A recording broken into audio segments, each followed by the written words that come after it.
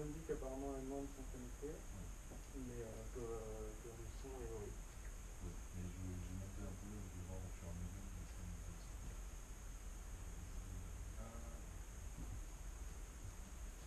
okay, before we start, uh, Sylvain, Caroline, Nadine and Chris, do you hear us properly?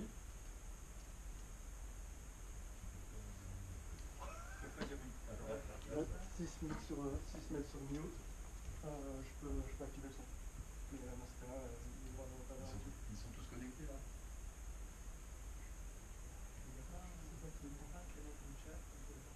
Non, je suis, je suis le seul ordinateur. Donc ils doivent tous être sur ce Attends, je vais le mettre sur Internet. Il y avait- il y avait le chat de- Ils ont tous dit qu'ils étaient OK, donc c'est bon. D'accord,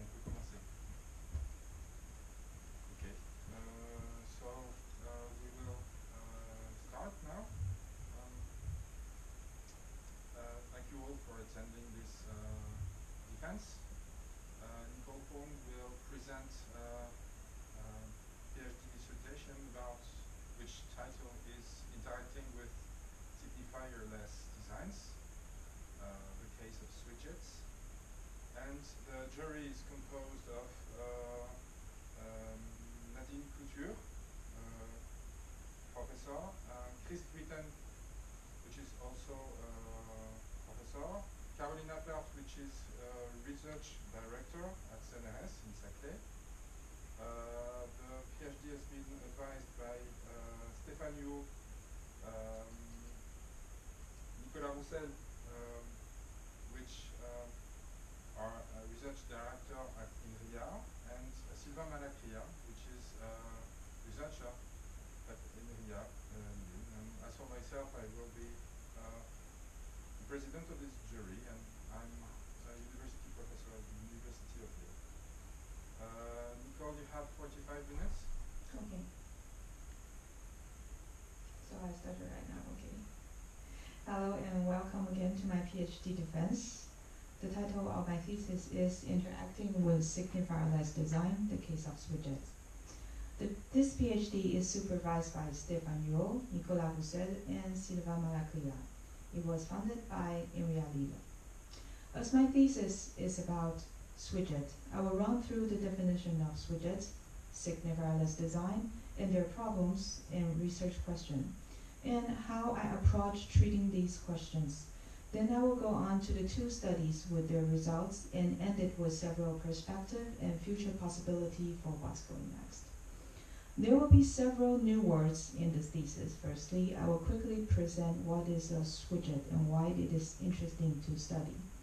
Swhidget actually is a word I made up, as a portmanteau of swipe reveal hidden widgets. Swhidgets are hidden under the bezel of the screen and are revealed with a swipe gesture. I showed you an example here just to give an idea. They can be triggered by a physical manipulation metaphor, and that is what makes them different than other gestural interfaces. Swhidget exists on different platforms and applications, notably on handheld devices such as Android and iOS, devices that have a very limited screen space. They also exist on certain laptop applications such as mail provided by macOS. Swhidgets are interesting to study in HCI because they are very common in modern user, modern user interfaces despite a relatively obvious problem. The problem is that if you don't know about the existence of a certain swhidget, nothing in the interface informs you that the swhidget exists, and you might never be able to use it. The discovery issue is thus the consequence of lack of signifiers, a notion that I will now describe. Norman introduced the concept of signifiers as anything that convey useful information to users about what they should or they can do. This picture shows signifier in the physical world. The concrete path informs the pedestrian about where the park designers expect them to walk. But the dirt path inform about what people actually do as a shortcut. Here are some examples of signifiers that we can find in user interfaces. The little arrow of a drop-down menu indicates that there are other items underneath. a battery icon tells you if you can use your device for the next hour or need to recharge it. And a sliding switch communicates the gesture to change its state. I will discuss later different ways to categorize the signifiers. Swhidgets are therefore signifier-less design. In this thesis, I use swhidgets as a use case to investigate interaction with signifier-less design, which I will shorten as SLD. The research question in this thesis has been divided into four categories. The concern of the first category is to characterize the problem of swhidgets, trying to avoid precise, uh, trying to provide precise definition for signifiers and SLDs, and how the lack of signifiers might be an issue. My contribution in this domain will be mostly definition and discussion uh, about theoretical concepts. In the second category, I will try to assess the amplitude of the discovery issue by finding if user knows widget and SLDs and if, it, if they actually use them. My contribution here will be the design and the results of two user studies.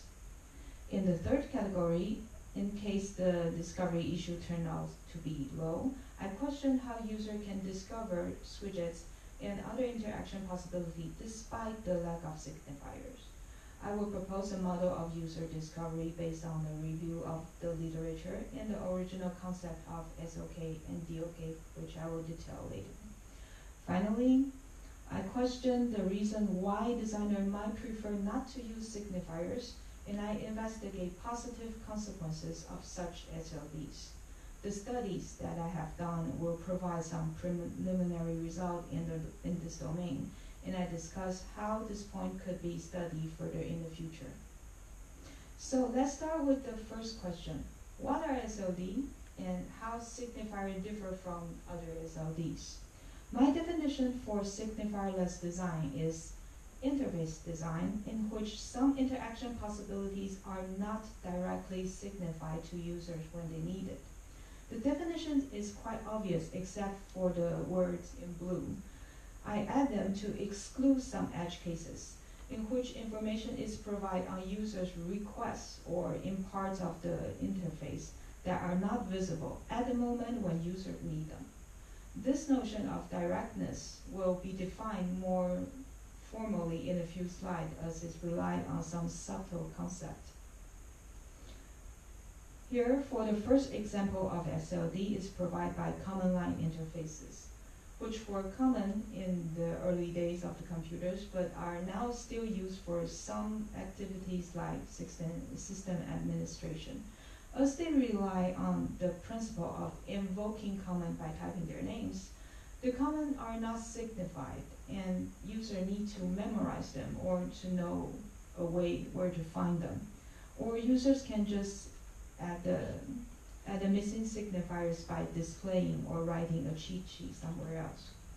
Then graphical user inter graphical user interfaces propose an alternative to command line interfaces which has later been called WIMP interfaces. WIMP stands for Windows, Icon, Menu, and Pointer. The SLD example in WIMP interfaces are therefore contextual menu, open with the right mouse click or control click, hotkeys that are only signified indirectly in the menus, but easy to remember if the function is repeatedly needed, such as Control C and Control V mouse pointing in a uh, specific area such as hot corner, or reveal tooltips by hovering your mouse above a widget. Modal interfaces such, uh, such as addition mode in the text editor or the function of the insert key.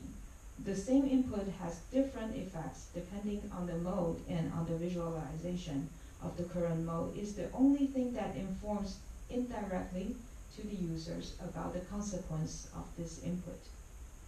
HCI research focused on establishing the concept of post-WIMP interfaces after WIMP interfaces succeeds, the success in commercial products. For instance, gestural interface such as swiping two fingers on Magic Mouse or flicking into scroll on smartphones.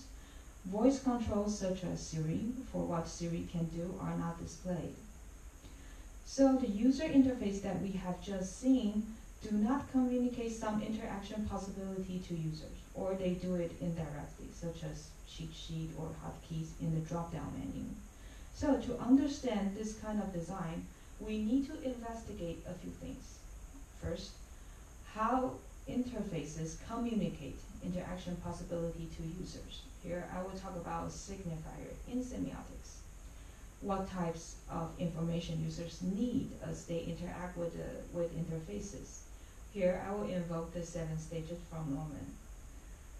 And thirdly, how user can think about interaction possibility without signifiers. By here, I will address the affordances. And finally, using the three notions to state a precise definition for SLD. How do users interpret signifiers? Norman once said the word signifier comes from the field of semiotics where it has a long and illustrious career.